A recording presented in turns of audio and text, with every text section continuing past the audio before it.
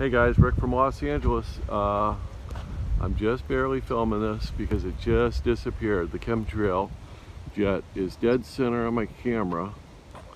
Let me see if I can focus on it. There he is.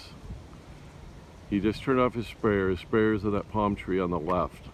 The big king palm right there. A brand new fresh trail.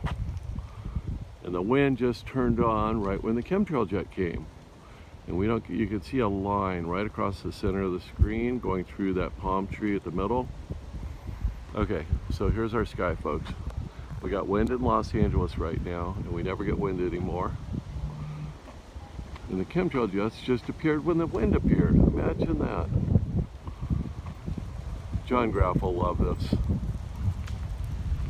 Okay so chemtrail jets appear and the wind appears. What are the odds hard to spot. There it is, right there.